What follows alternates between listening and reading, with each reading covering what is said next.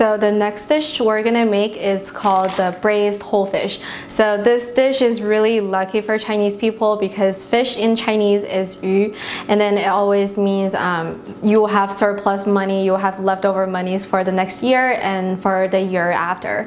So here we go, we're gonna unwrap the fish. Now we're gonna wash the fish with cold water. The fish is already scaled and it's already cleaned inside out, so you don't have to take anything out from the belly. Since it's gonna go into the hot boiling oil pan, so we'll have to pat the fish dry.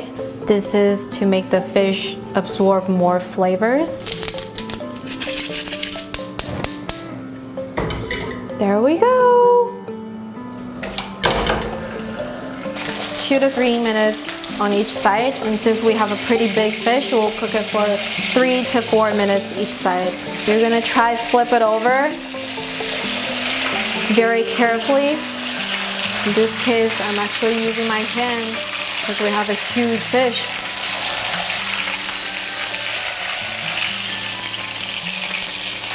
When you see the fish meat turns white from transparent, that means it's almost done. We're gonna season the fish very shortly. We're gonna wait till the meat gets cooked a little bit better. And then we'll be using a lot of different sauces. Dark soy sauce is to give the fish color, and light soy sauce is actually giving the fish flavor. For the first timers, you better carefully measure everything because you don't want to get it wrong. You don't want to make the fish too salty or too sour, too sweet. But after a few times, you'll get a sense to it. It can't go wrong. Spray the sauce all over the fish to keep both sides moist. Make sure the face gets some sauce too. And the tail. So now we're gonna plate the fish. So we're gonna carefully carry the fish. Gonna bring it to the plate real quick, like this. And then we're gonna pour the rest of the sauce on top of the fish. Like that.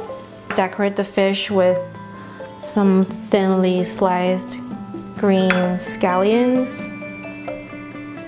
And again, fish in Chinese means surplus money, leftover monies. So here's your fish. Enjoy with your families and friends. And I wish you have a very lovely year of the monkey.